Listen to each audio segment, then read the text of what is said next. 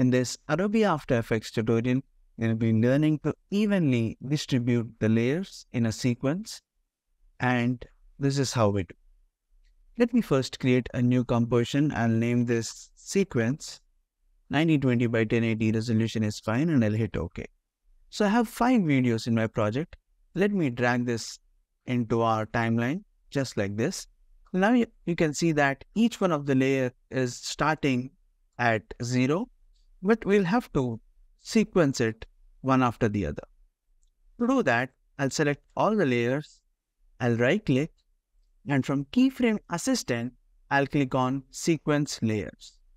Here you can see that we can overlap each one of the video with some duration. In this case, I set it to 1 and the transition would be dissolve the front layer.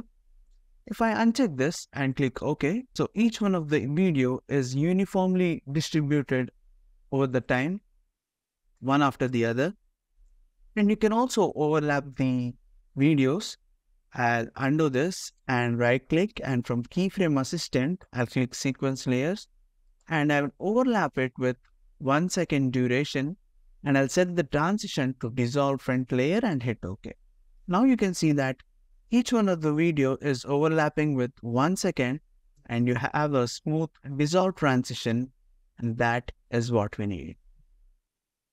This technique definitely comes in handy whenever you're importing some, you know, random travel videos and then trying to edit each one of the clip. I hope you found this video helpful and if that's the case, give us a thumbs up and see you guys next time with another tutorial